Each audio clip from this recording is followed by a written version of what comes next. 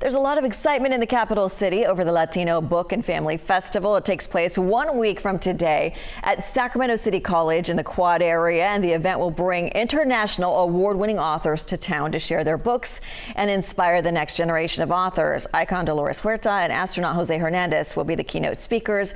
And joining me live this morning is actor and Empowering Latino Futures co-founder Edward James Olmos. Edward, we're so excited that you're here today to talk more about this wonderful event. What are you most excited about? Bringing this event to Sacramento. I mean, they deserve it. They've been asking for it uh, for many years, and we finally had the ability to do that, bring it up. and we've been all over the country with this festival since, uh, God, 1998. So we started it, and uh, Kirk Whisler and myself and quite a few of us have been moving forward throughout the years, now 25, and bringing this. It's amazing. One thing I want to tell everybody that's listening it's free, totally free. And it has so much to give to you as an individual or your family and for kids and for everyone.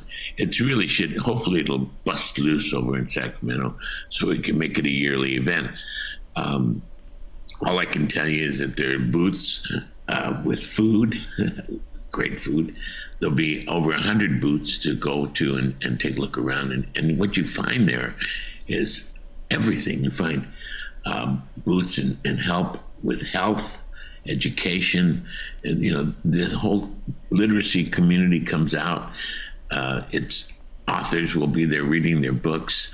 Um, will, there'll be book signing, and uh, all I can tell you is that this is a totally bilingual event and it's something that I think that the community there in Sacramento really deserves.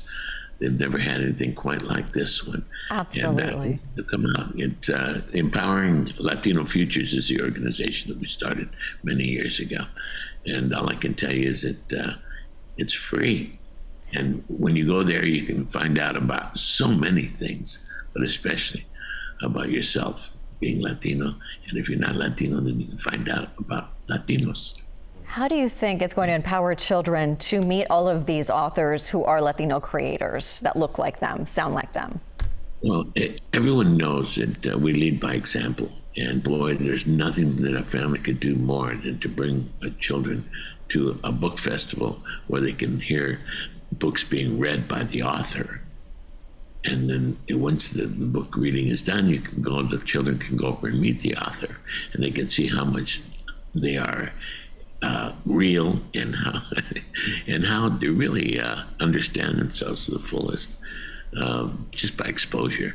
This is the best thing you can do. I, I, I mean, I don't know what to tell you other than it's so much fun there. Uh, we have them all over the country, and we've had such a wonderful turnout. Millions of people have participated in the book festivals. That is terrific. And tell me why this event is near and dear to your heart. I mean, we know you as an actor, and now you're a big time literacy advocate as well. Well, I mean, through the years, uh, the most important aspect of my life has been reading. It's the, the way I got to where I am today. And no one in my family knew anything about what I was getting into. I didn't know anything about what I was getting into. I had to read to find out. I, I asked, I, I talked, I watched movies, uh, I saw. Uh, plays. I did plays, but reading was the key. Reading is the key to, to expanding the brain to the fullest. And I, I pray that people understand that it's just fun. Reading is fun. It, ex- it explodes the mind. And uh, all I can tell you is, I hope they'll come and listen to uh, uh, Dolores Huerta. You know, she's 92 years old, and boy, is she a firehouse. And she'll be speaking there, and so will Jose. Hernandez, who's uh, the number one Latino Chicano uh, astronaut in the world. And uh, they just finished making his movie that uh, a million miles away. And uh, if you know anything about that movie, or if you've seen or know anything about him, he's a wonderful person. You've got to bring your kids to see him, please. I mean, bring the whole family. And if you don't, if you need inspiration, come to listen to Dolores Huerta and or uh, Jose.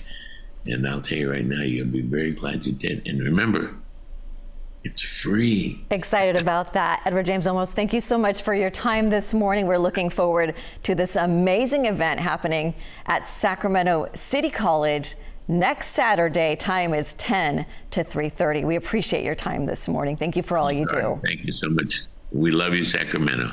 Thank you. We love you too.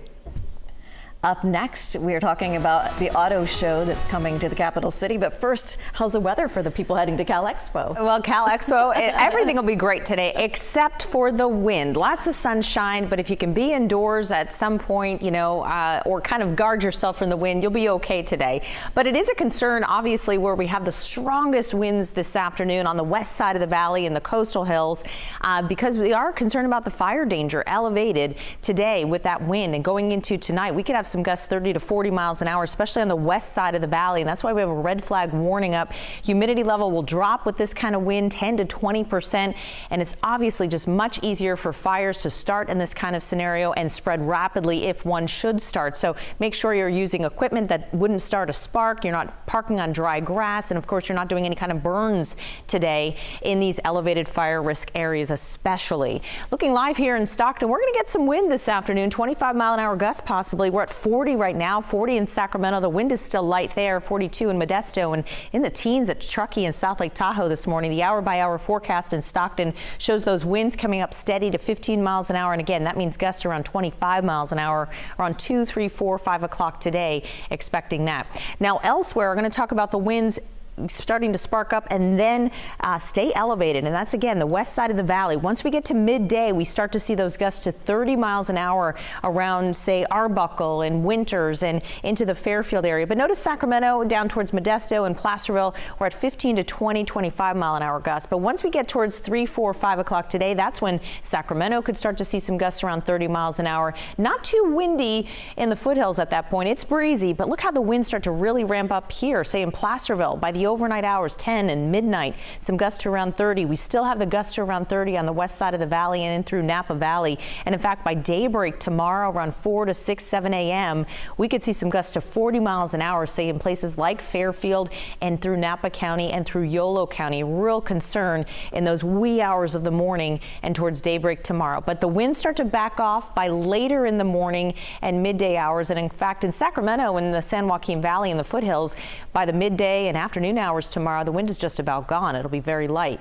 Quincy today going to 55. It's a chilly day at Truckee and South Lake Tahoe, only in the 40s, occasionally breezy this afternoon with gusts around 20 to 25 miles an hour. Tonight we could find some winds in places like Pollock Pines and Arnold, that downsloping wind.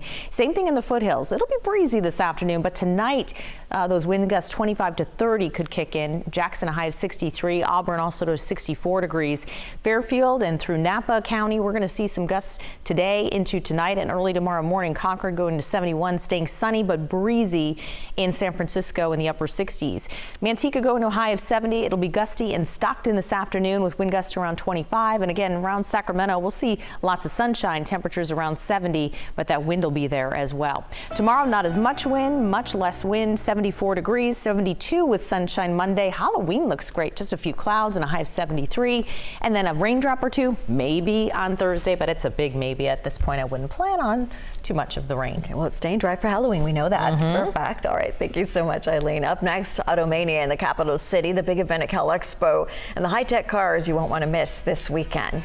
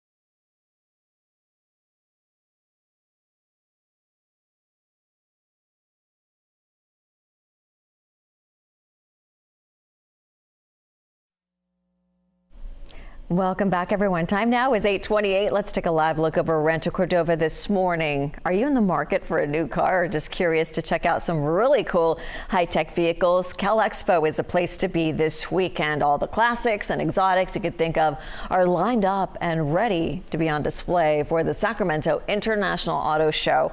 And while you check out all of these cool cars, you can also be helping out Shriners Hospital at the same time. Visitors have a chance to vote for their favorite car, and that car will be displayed at the Shriners Toy Drive in December. Behind each car is a special story. He and his dad built this car. They did a tour down to Southern California in it earlier this year. Um, he comes to our toy drive every year with the Volkswagen Club. They get 120, 130 Volkswagens in a row, all bringing toys on December 3rd.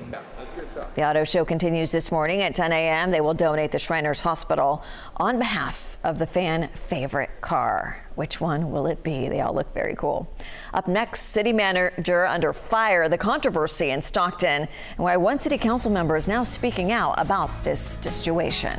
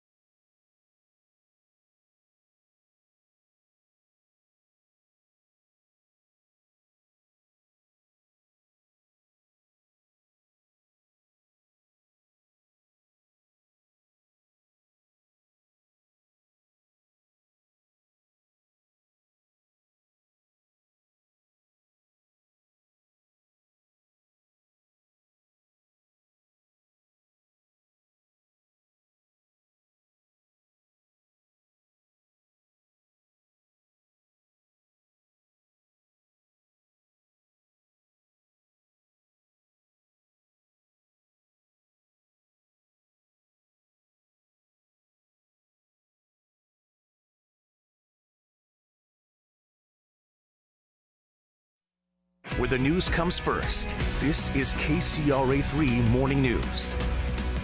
We're talking the main mishaps that can happen on Halloween and big celebration nights for Halloween like tonight and what experts are saying. Some things might shock you. Coming up.